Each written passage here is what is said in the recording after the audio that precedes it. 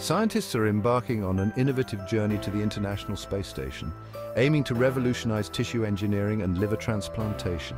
The mission? To study whether microgravity can foster the growth of healthy human liver tissues, complete with a robust blood supply.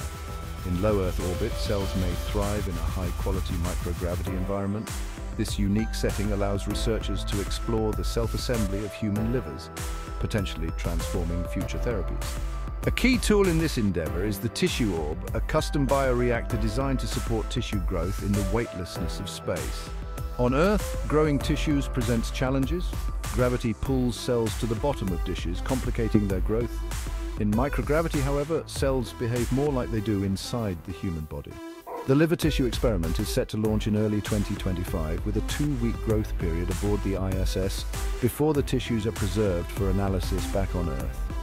This research could pave the way for a range of biomedical applications, from disease modeling to therapeutic implantation. A second experiment is planned for 2025 or early 2026, focusing on a supercooling system to safely return live tissues to Earth. The future of medicine may very well be written among the stars.